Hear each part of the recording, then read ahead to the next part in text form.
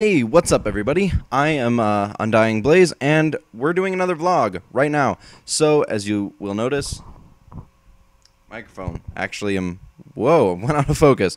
Anyway, microphone uh, went uh, and took apart my microphone holder, and now it's uh, sort of dismantled. I'm just kind of rebuilding it to make it more sturdy. So I just wanted to kind of make a quick announcement. I am going to be moving to Arizona. Uh, well, me and my wife are, obviously. Um, we are stopping attending college, at least for a time. We might go back. Um, she's thinking about it more. I'm a little bit less. I found a career that I want in YouTube, and I'm going to stick with that. That's what I'm going to be doing for uh, my career, and that's just pretty much it.